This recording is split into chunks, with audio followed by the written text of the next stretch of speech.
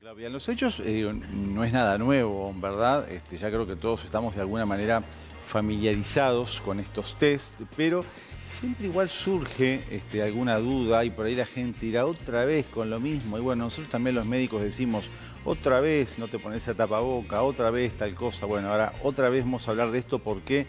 Porque hace pocos días me llegó este, el dato de eh, el planteo de la supuesta realización de test antigénicos o test de antígenos en sangre. Y la verdad, mm, yo no había escuchado una cosa de ese tipo porque cuando hablamos de sangre sí hablamos de anticuerpos, pero no de antígenos, de aquellas sustancias que de alguna manera son las que desencadenan o generan la respuesta de nuestro sistema defensivo, nuestro sistema inmunitario para formar anticuerpos. Entonces me pareció bien interesante volver a repasar este, lo que son los, los test este, de diagnóstico de eh, COVID y los que no lo son, ¿ah? o por lo menos no lo son y tampoco las autoridades los recomiendan como tales, por más que en algunos laboratorios este, se realizan. Los test para diagnóstico, los test para diagnóstico de la COVID, por excelencia el primero, y vamos a la primera plaquita, es el test conocido ya por todos. Cuando uno llama a los pacientes ya te enseguida te dice, me hice el PCR, me dio negativo. O sea, ya todo el mundo está familiarizado con este término.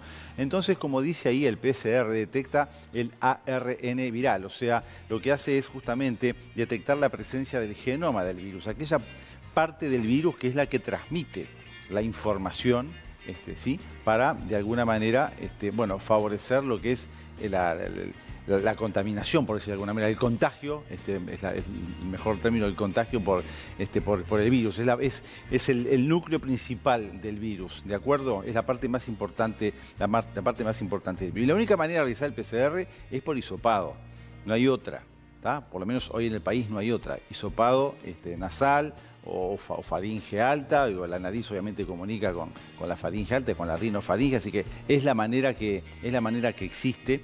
Y bueno, una vez que se extrae la, la, muestra, como se sabe, se, envía al laboratorio y ese resultado, la respuesta está en 24 72 horas y obviamente esto a veces depende de la demanda del momento y también de cada prestador de salud, que a veces puede demorar un poco más. Este, tanto en la realización como a veces en la eh, puesta en conocimiento de lo que fue el resultado.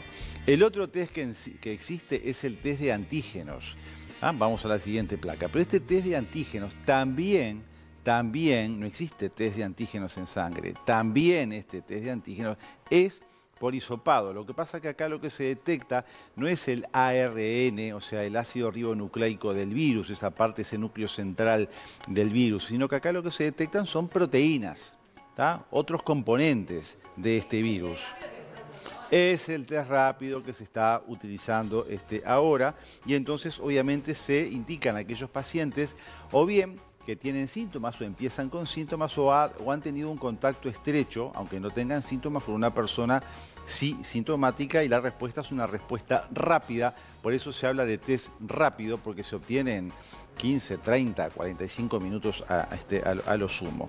Eh, y después sí, tenemos otro test, que es el test de anticuerpos, que este es el único test que se realiza en sangre, pero no es diagnóstico. O sea que no, no le vayan a ofrecer un test en sangre para obtener un diagnóstico de la COVID. Por favor, no. Es para medir los anticuerpos. Claro, es un test de anticuerpos, pero que en realidad a ver, se, usa generalmente si vos querés en determinada población este, saber, eh, por ejemplo, si eh, hubo, eh, hacer un seguimiento de, esa población, si tuvo la enfermedad o no, o en una población saber si con el tiempo este, estuvo vacunado o no, si se generaron anticuerpos o no, pero no es para hacer diagnóstico, porque ¿saben qué pasa? aparecen dos tipos de anticuerpos, uno son los, los inmunoglobulina M, que son los primeros que genera el cuerpo, que generalmente aparecen hasta a veces 7, 8, 10 días después de la aparición de los síntomas. Entonces, no tiene sentido si tenemos contacto con una persona positiva ir a hacernos un test de este tipo, porque todavía no generamos los anticuerpos. Entonces estamos obteniendo una respuesta que no es la adecuada. Y obviamente los, los inmunoglobulina M, que son una variedad, se van rápidamente y después aparecen los que permanecen a lo largo del tiempo, que la inmunoglobulina G. De todas maneras, también sabemos que mucha gente fue corriendo a los laboratorios a ver si, si ahora con la vacuna genera anticuerpos, si no tengo anticuerpos, si tuve la enfermedad y bueno, voy a hacerme el examen a ver si genera anticuerpos Y a veces la, la respuesta inmunitaria del cuerpo no toda, no toda es detectable fácilmente a través de estos test en sangre. Entonces podemos llevarnos la sorpresa que, uy, dicen que no tengo anticuerpos, entonces mi enfermedad no me generó anticuerpos, la vacuna no me generó anticuerpos. Entonces, y a veces hay partículas específicas sobre las que se generan anticuerpos por parte de algunas vacunas y otras no, que todavía eso no está bien diferenciado. Entonces no salgamos corriendo a hacernos test de anticuerpos para ver si la vacuna nos dio efecto, para saber si la enfermedad nos generó este, defensas o en el peor de los casos para saber si estamos enfermos o no, porque no es la forma, no es la forma de hacer diagnóstico. Yo con esto quería repasarlo. De hecho, habíamos comentado acá la tendencia de, muchos uruguayos por ir a los laboratorios a Sí, fue, y en los, hechos, en hechos en producción intentamos algunas comunicaciones y no, no, tuvimos respuesta al respecto. Sí, mucha gente fue y bueno, está bien. Si la gente quiere hacerlo, acá cada uno es libre. El problema es la falsa seguridad que también puede llegar a dar eso, ¿no? Exactamente. Yo he escuchado gente que dice, bueno, tenía las dos vacunas, me hice un test de anticuerpos, tenía pila de anticuerpos y me contagié igual. Y sí. Exactamente, no, no, no. Entonces digo acá que lo importante es eso. La única forma diagnóstica que hay acá es por hisopado, test rápido o PCR, no hay otra. Y el test de, el test de anticuerpos que es en, sangre se usa para determinadas situaciones, no es diagnóstico y tampoco nos hagamos la cabeza de ir a hacerlos como una forma de saber si estamos, estamos inmunizados o no. Buen recordatorio, la verdad que hay que tener siempre presente.